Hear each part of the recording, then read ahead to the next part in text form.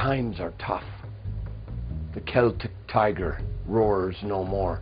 Students at one school, elementary school, asked by their principal to voluntarily bring their own roll of toilet paper to help cut down on costs.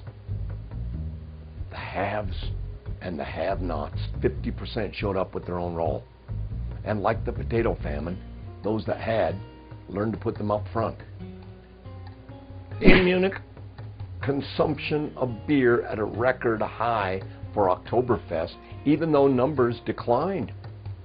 Falling numbers, but those souls that showed up carried the weight of those that couldn't make it and paid the price. 9,000 cases of individuals seeking help due to alcohol related issues. That's a lot of headaches, 800 of which were alcohol poisoning cases. Nyet, ow.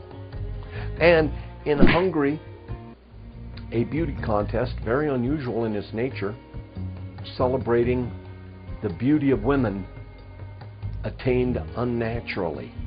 It's like not only a beauty contest, but a competition of plastic surgeons. As the contestants parade in front of the judges, the judges also have the before and after pictures and the whole medical records there.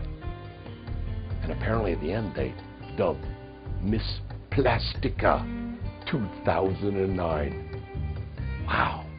She carries herself well, doesn't she? And look at that smile. It never changes.